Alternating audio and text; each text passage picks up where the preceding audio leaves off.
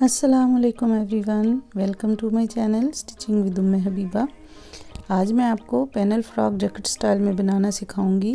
तो उसके ऊपर हम इस तरह का स्टाइल बनाएँगे जिसमें यहाँ पे लेस लगाएँगे। तो इसके लिए हमने फ़्रॉक की बॉडी ली है और इसके साथ जो है जिस कपड़े का हमने डिज़ाइन बनाना है, उसको इसके साइज़ का काट लिया है। इस तरह से उसको डबल फोल्डिंग करते हुए हम इंची स्टेप से उसका नेक का साइज़ लेंगे तीन इंच। और पाँच इंच लंबाई लेंगे अपने साइज़ के अकॉर्डिंग अब हम इसका ब्लॉक बना के इसके नेक की साइजिंग करेंगे, इसको गोल शेप देंगे। इसका लिंक आपको डिस्क्रिप्शन में मिल जाएगा, हमने बेसिक नेक डिज़ाइन उसमें बताए थे। अब हम इसमें जैकेट के लिए पेमाइश करते हैं। तो सबसे पहला निशान जैकेट के लिए हम थ्री इंच पर लगाएँगे, इस तरह से। और इसको लंबाई में हम फोर इंच पर लगाएँगे। चौड़ाई में पहला तीन इंच पर निशान था तो दूसरा हम सिक्स इंच पर लेंगे। इसी तरह से ऊपर फिर हम फोर इंच की हाइट पर निशान लगाएँगे और चौड़ाई में फिर नीचे से सिक्स लिया है तो ऊपर हम एट इंच पर निशान लेंगे।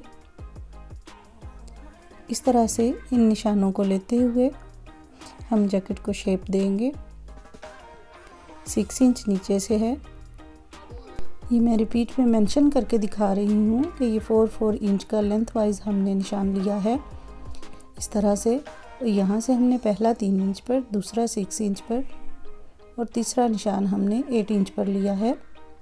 तो इस तरह से इन निशानात की मदद से हम अपनी जैकेट को शेप दे लेंगे। बिगिनर्स के लिए ये तरीका बहुत आसान होता है। अगर आप इस तरीके को फॉलो करते हैं तो आप बहुत आसानी से ये डिज़ाइन बना सकते हैं। इस तरह से चौक से आप इसको शेप दे लें। ऊपर से नेक नेक के पास जाकर आपने कॉर्नर कट नहीं करना। उसका जॉइंट आपस में अलग नहीं होना चाहिए। इस तरह से हम अब इस डिज़ाइन को कट कर लेंगे।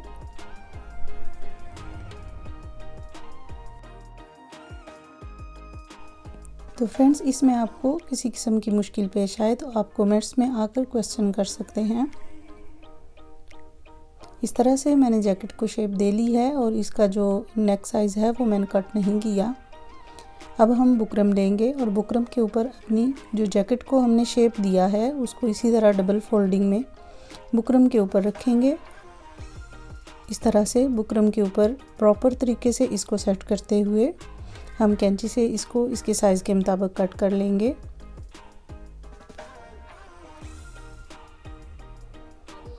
इस तरह से हम नेक लाइन भी कट कर लेते हैं।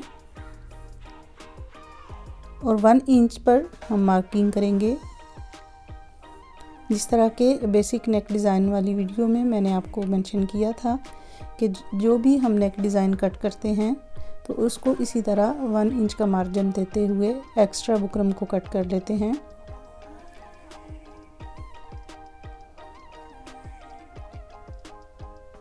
इस तरह ये बहुत इजी रहता है। अब हम इसको अपनी जैकेट वाले कपड़े पर आयरन कर लेते हैं। ये फ्रेंड्स मैंने रेबदार कपड़ा लिया है और इसको भी मैंने हाफ़ इंच चौड़ा काट लिया है। इस तरह से रेबदार कपड़े की आप तीन चार पीसेस हाफ़ हाफ़ इंच पर काट लें और इनको आपस में जॉइंट करते हुए एक लंबी पट्टी तैयार कर लें। ये मैंने तैयार कर ली है।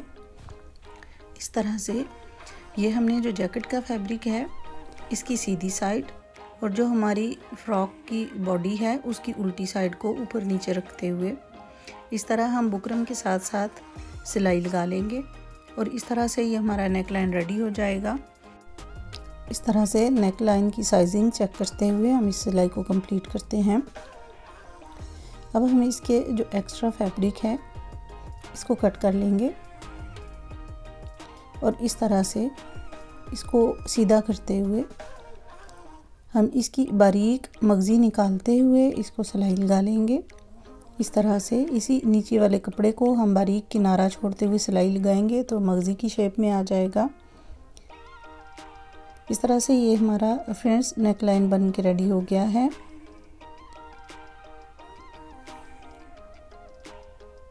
जैसा कि आप देख सकते हैं, ये बहुत नीट नेकलाइन रेडी हुआ है। अब हमने जो अरेबदार फैब्रिक लिया है, उसको हम जैकेट की शेप देने के लिए इस्तेमाल करेंगे। तो इसमें ये ख्याल रखें कि जो उरेबदार फैब्रिक है, उसको हमेशा नीचे रखा जाता है और दूसरा फैब्रिक ऊपर रखा जाता है।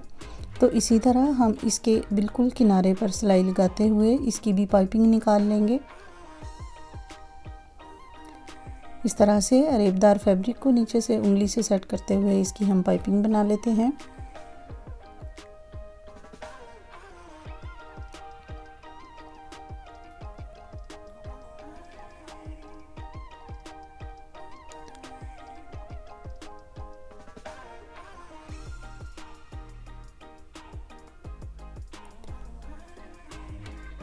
तो फ्रेंड्स, इस तरह बिल्कुल किनारे पर सिलाई लेते हुए हम इसकी पाइपिंग निकालेंगे।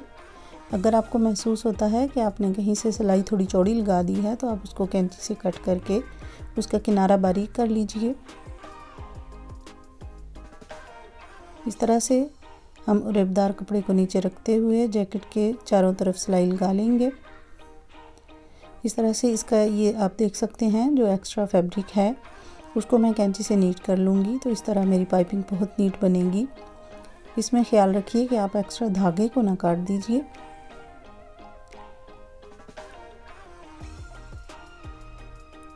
इस तरह से एक्स्ट्रा फैब्रिक कट करते हुए हम अपनी पाइपिंग सीधी कर लेते हैं। इसमें फ्रेंड्स, जो हमने कॉर्नर्स लिए हैं, या जहाँ पर सर्कल शेप आई है तो वहाँ पर हम छोटे छोटे कट्स लगाएँगे।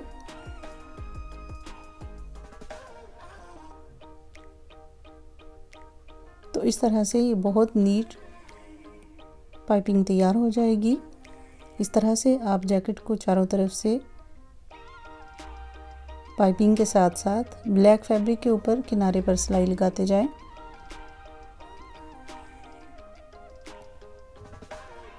इसका ये जो कॉर्नर्स हैं, यहाँ पर जो हमने पाइपिंग है, इसको भी कट करना है। इस तरह से जैकेट्स में जितनी जगह पर भी कॉर्नर्स आए हैं तो आप उनको कट कर लें।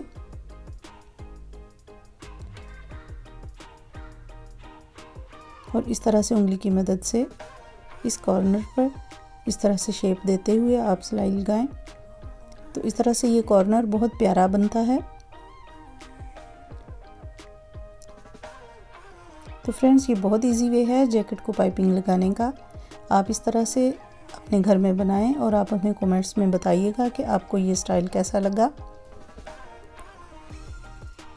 इस तरह से मैंने ये पाइपिंग मुकम्मल कर ली है।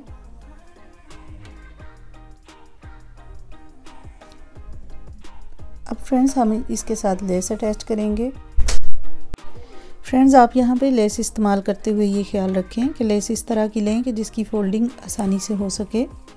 तो लेस को मैं नीचे रखूँगी और इस तरह इसके ऊपर जैकेट रखते हुए पाइपिंग के साथ साथ मैं बिल्कुल किनारे पर सिलाई लूँगी। तो इस तरह से जहाँ पे कॉर्नर आएगा, वहाँ पे मैं लेस को नीचे से थोड़ा सा ढीला करते हुए, इकट्ठा करते हुए लूँगी ताकि इसकी फोल्डिंग इजीली हो जाए। ये देखें, उंगली की मदद से थोड़ा सा लेस को पीछे हटा लीजिए। तो इस तरह इसका कॉर्नर शेप अच्छा आएगा। इस तरह से थोड़ी सी लेस पीछे हटाते हुए आप इसके कॉर्नर से लेंगे। तो इस तरह से इसके मैं साथ हाफ़ इंच पर डबल सिलाई लगा लूँगी, ताकि इसके नीचे जो पाइपिंग है और एक्स्ट्रा फैब्रिक है, वो सिलाई के अंदर दब जाए। इस तरह से ही मैं पूरी जैकेट को कंप्लीट कर लेती हूँ।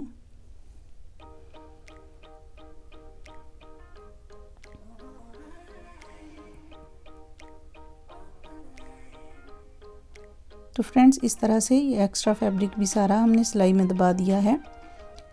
अब हम इसके साथ इसका बैक पार्ट अटैच करेंगे। तो इस तरह से इसके ऊपर रखते हुए हम बैक पार्ट को दोनों तरफ़ से फिटिंग की सिलाई लगाएँगे और ऊपर से तीरा ज्वाइंट कर लेंगे।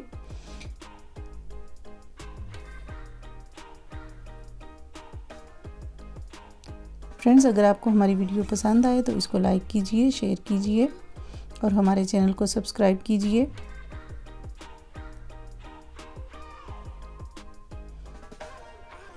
इस तरह से हमने जो फिटिंग के निशानात पर मार्किंग की है वो भी कर लेंगे। अब हमने इसके पैनल ज्वाइंट करने हैं। तो पैनल के लिए इसमें दो चीज़ें होती हैं। पैनल की एक साइड बिल्कुल सीधी होती है और एक उरेब वाली होती है।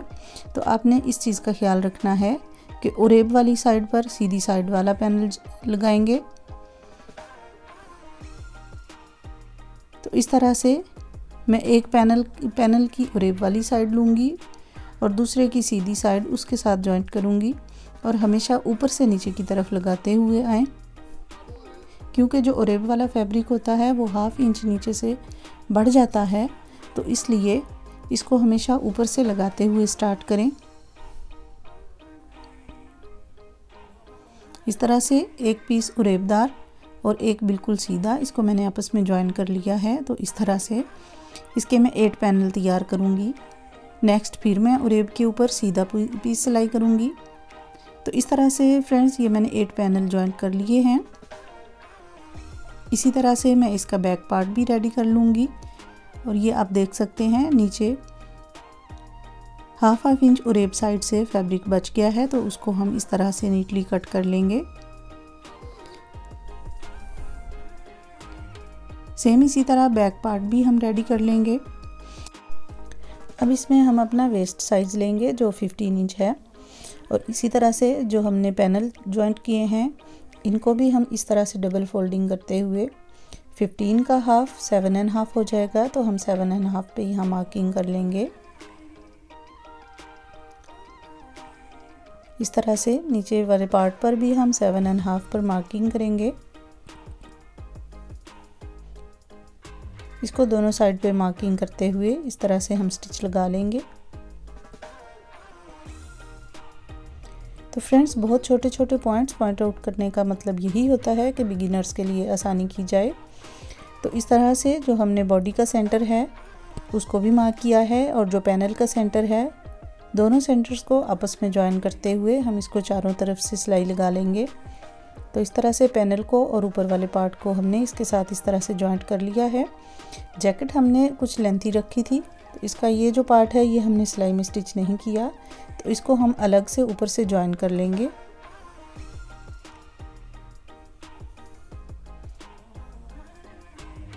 तो इस तरह से हमने इस पार्ट को भी ज्वाइन कर लिया है, क्योंकि ये जो ऊपर हमने बॉडी ली है, उससे थोड़ा सा इसका कॉर्नर हमने लंबा रखा था।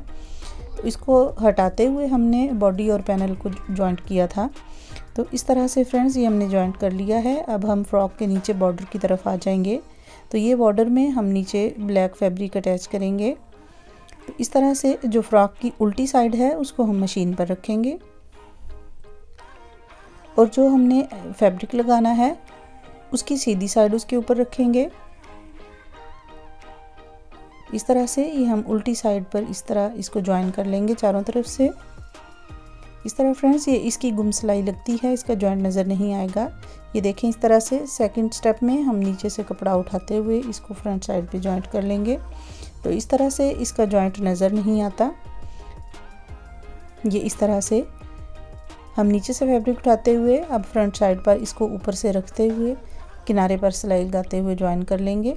तो इस तरह से इसके किनारे अंदर छुप जाएँगे।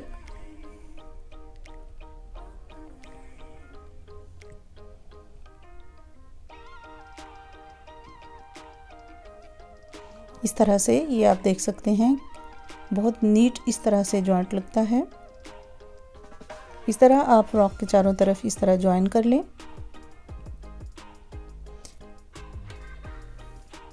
ये मैंने ज्वाइंट कर लिया है। देखें, इसमें कहीं भी जो आपको सिलाई है, वो नज़र नहीं आएगी।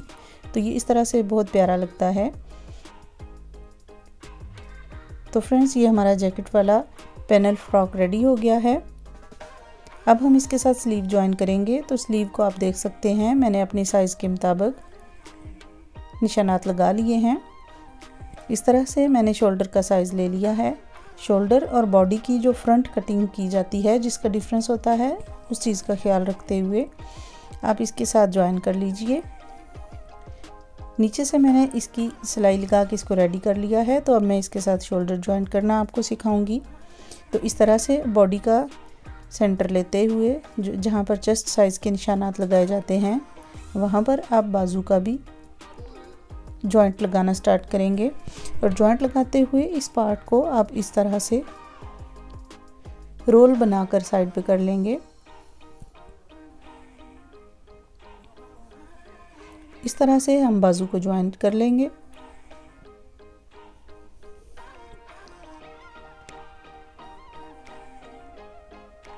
बाजू का सेंटर और शर्ट का सेंटर बराबर करते हुए इसको सिलाई लगाएँगे। इस तरह फ्रेंड्स कभी आगे वाला गला पीछे नहीं गिरता।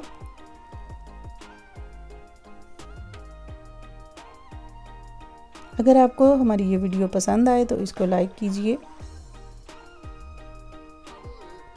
इस तरह से हमने ये बाजू रेडी कर लिए हैं। जैसा कि आप देख सकते हैं कि यहाँ पर मैंने इस फैब्रिक को तो कौन बनाकर साइड पे कर दिया था तो इस तरह से यहाँ पे चुनट नहीं बनता और ये बहुत नीटली अटैच होता है। तो फ्रेंड्स, ये बिगिनर्स के लिए मैंने बहुत डिटेल से वीडियो बनाई है। अब मैं बैक नेक लाइन को टू इंच पर मार्किंग करते हुए, गोल शेप देते हुए बैक नेक लाइन बना लूँगी। इस तरह से ये अरेबदार फैब्रिक लिया है मैंने। तो अरेबदार फैब्रिक हमेशा नीचे रखा जाता है। इस तरह से हम बैक नेक लाइन रेडी करेंगे। तो बिगिनर्स के लिए मैंने ये बहुत डिटेल वीडियो बनाई है। उम्मीद है आपको पसंद आएगी। इस तरह से किनारे को फोल्ड करते हुए हम छोटे छोटे कट्स लगा लेंगे। इस तरह इसकी गोल शेप अच्छी आती है और इस तरह हम नीचे वाले कपड़े को बाहर की साइड पर निकालते हुए एक स्टिच लगा लेंगे। तो इस तरह ऑटोमेटिकली इसकी शेप राउंड हो जाती है। इस तरह से इसको राउंड शेप में हम स्टिच लगा देंगे। आप चाहें तो आप यहाँ पर तुरपाई भी कर सकते हैं, ये आपकी अपनी चॉइस है। मैं इसको सिलाई लगाऊँगी और इस तरह इसके किनारे की सिलाई को, जो शोल्डर की सिलाई है, उसको इसके अंदर दबाते हुए हम नीटली सिलाई कंप्लीट कर लेंगे। तो फ्रेंड्स इस तरह ये हमारी शर्ट रेडी हो गई है। उम्मीद है आपको पसंद आएगी। तो फ्रेंड्स, अगर आपने इसकी कटिंग की वीडियो देखनी हो तो इसका लिंक आपको डिस्क्रिप्शन में मिल जाएगा।